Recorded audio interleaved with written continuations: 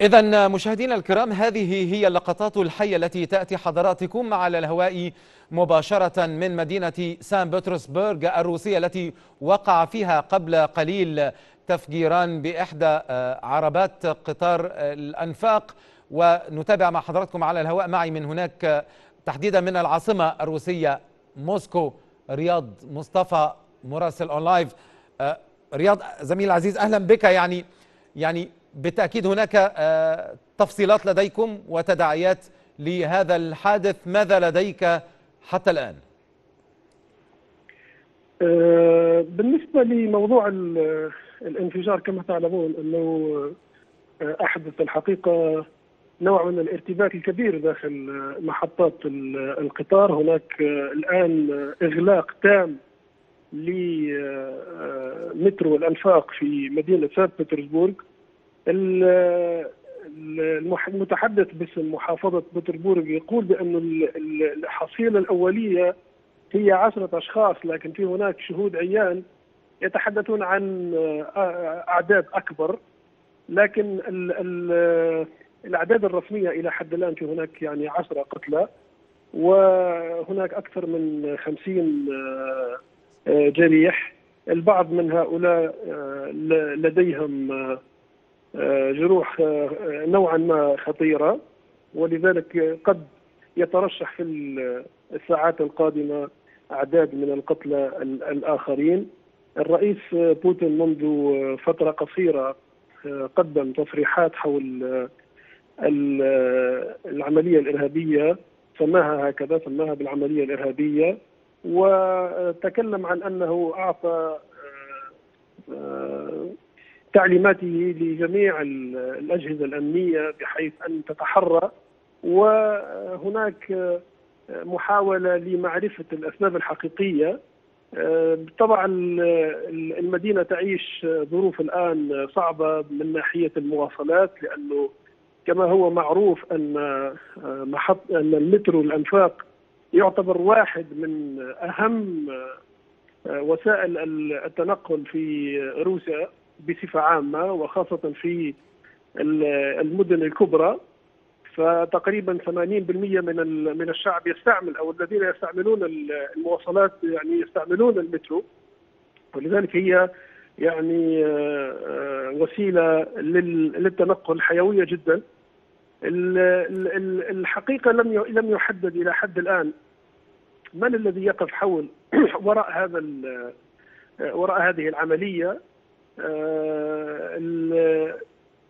السلطات الرسمية لا لا تتكلم إلى حد الآن عن يعني أشخاص معينين وإن كان بعض شهود العيان يتكلمون عن شخص معين دخل إلى المحط إلى إلى القاطرة رقم ثلاثة التي جرى فيها التفجير وانتقل مباشرة وضع هناك يعني حقيبة ثم انتقل بعد ذلك مباشرة إلى قاطرة أخرى وحصل الانفجار بعد ذلك بعد خمس دقائق من خروجه. لم تحدد شخصية هذا الرجل لكن عموما في هناك يعني بحث دقيق الآن في كامل المترو لأنه هناك حديث عن وجود يعني عبوات قد تكون في محطات أخرى ولذلك السلطات الرسمية يعني أخرجت الآن أوقفت الحركة في داخل المترو وأخرجت جميع المواطنين.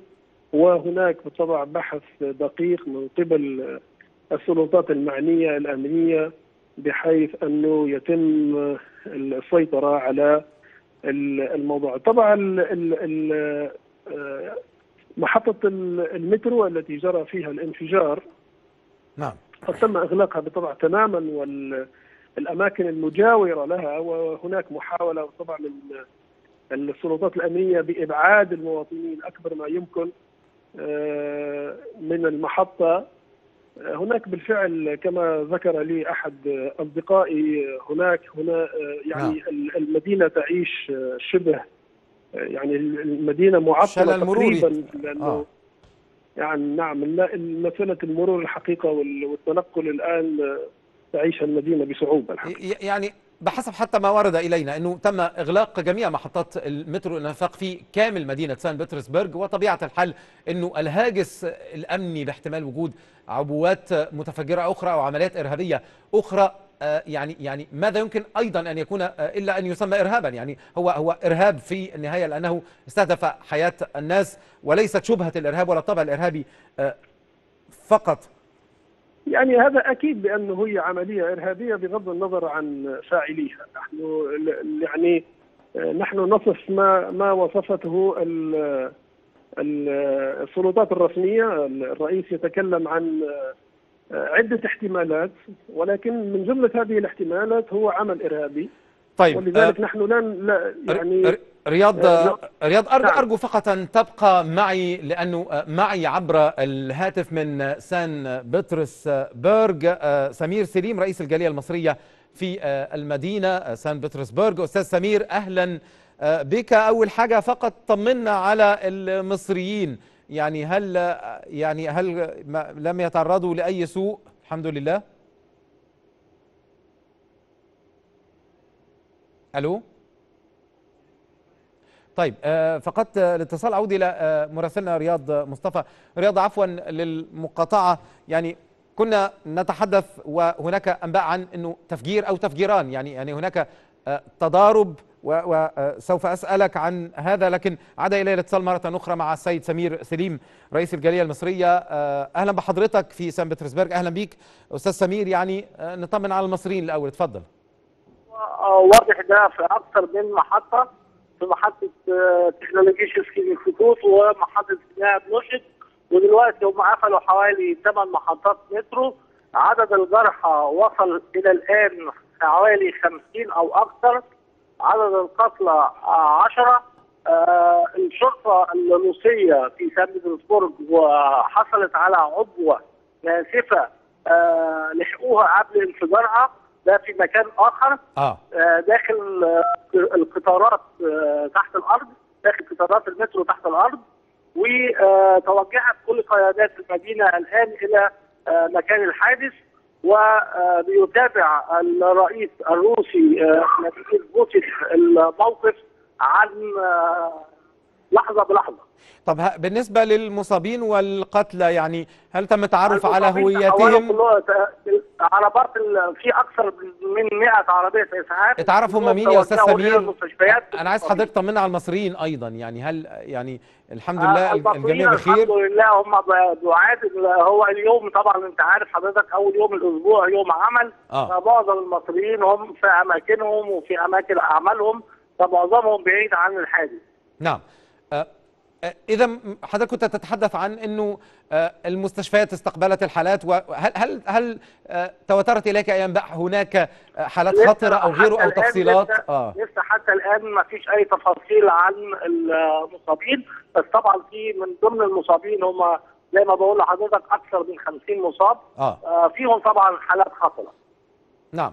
آه، صف لي بقى الحالة يعني في المدينة الحقيقة. كنت أتحدث إلى مراسلنا. طبعا في ذعر في المدينة آه ذعر يعني وأتحدث عن شلل المروري كذلك يعني أنه محط محطات الأنفاق كلها تم إغلاقها مش كده؟ بالتأكيد بالتأكيد لأن ثمان محطات مترو قفلهم في هذا الوقت وفي هذا التوقيت بيعمل شلل مروري كبير طبعا. وهي مدينة طبيعتها مزدحمة في هذا التوقيت ومترو الأنفاق يعتبر آه، الوسيلة الأساسية لنقل ال- الركاب. بالتأكيد. بالتأكيد.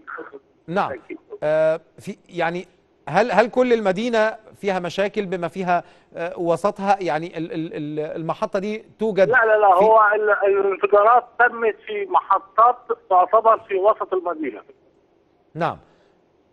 اذا يعني يعني آه، هتتوارد ال- الأنباء. ما فيش أي حاجة عن هوية منفذ التفجير. منتظرين إلى أخبار آه، يعني تفصيلية. أنت عارف إن طبعا الاخبار بتنت- يعني لم تنتشر بالسرعة ال- القانونية لكن كل اللي إحنا عرفناه إن الشرطة الروسية حصلت على آه، عبوة آه، جديدة بس لحقتها قبل انفجارها.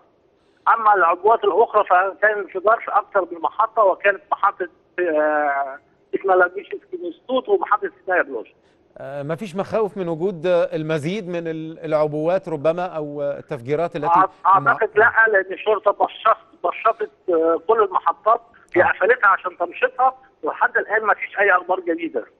شكرا جزيلا لك سمير سليم رئيس الجالية المصرية في سان بطرسبرغ. وأعيد أعود مرة أخرى مشاهدي الكرام إلى رياض مصطفى مراسل أون لايف من العاصمة الروسية آه، موسكو. آه، عفوا رياض يعني أعود إليك عفوا المقاطعة لكن آه، نحاول أن نحصل على القدر الأكبر من آه، المعلومات.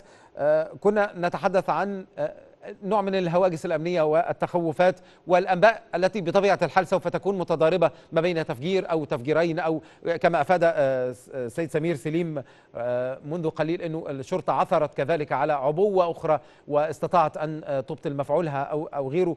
أعتقد أنه هناك الكثير من آه، لا أقول شائعات لكن ربما من الأخبار أو من آه، يعني بعض التوقعات التي آه، لا تخلو منها هذه الأمور. إليك الكلمة مرة أخرى.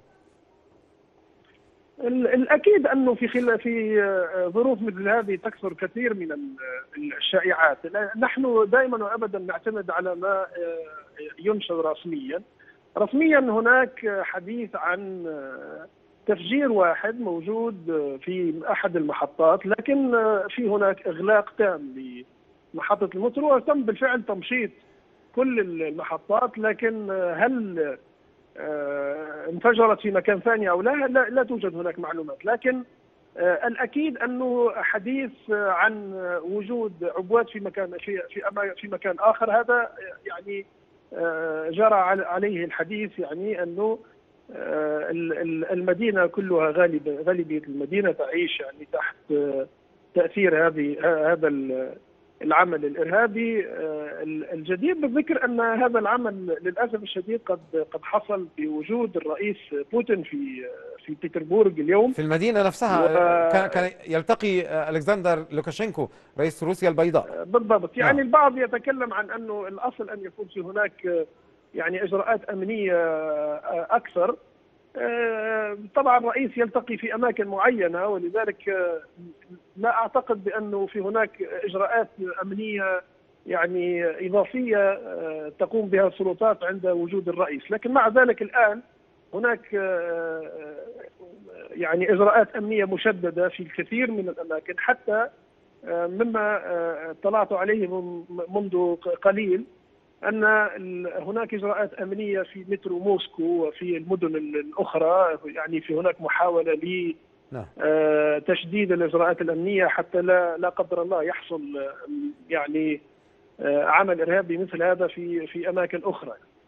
نعم يعني لكن أعتقد أنه الإرهاب أيضا يريد أن يوجه نوعا من الرسائل حينما يضرب آه، القنابل أو العبوات ال- المتفجرة آه، في مدينة يوجد فيها الرئيس في يوم يعني يعني لديه زيارة رسمية مع رئيس آه، دولة أخرى. يعني يعني هناك أيضا نوع من آه، يعني يريد أن يقول أنه يستطيع أن يخترق أو يستطيع أن أن يصل نوع من إثارة آه، الذعر وإثارة القلاقل في الداخل الروسي أيضا. يعني لا شك أنه دائما وابدا العمليات هذه من وراءها هدف معين. للأسف الشديد أن هذه العملية كذلك تزامنت مع نوع من ال- ال- الاضطرابات والاحتجاجات ال- الداخلية في في روسيا منذ آه، الأسبوع الذي مضى. آه، كما تعلمون آه، خرجت هناك مجموعات آه، آه، محتجة على آه، بعض ال- ال- القرارات الداخلية في روسيا. فلذلك ال- ال- الموضوع الآن هو مرتبط ببعض. يعني أنا أعتقد أن السلطات الأمنية الآن يعني آه، تأخذ كل كل هذه الأمور بعين الاعتبار إلى أن يتضح من يقف وراء هذه ال- العملية ويتضح من من الذي بالفعل كان آه، وراء ال- الفاعل الحقيقي آه، وراء هذه العملية. بطبيعة الحال وسوف نوالي الاتصال بك يعني حال وجود أي جديد وأعتقد أنه يعني في مثل هذه الأوقات في الساعات المقبلة سوف يتبين الكثير. يعني